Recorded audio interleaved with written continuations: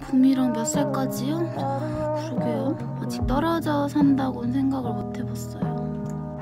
그래도 같이 살면 좋죠. 든든하니까.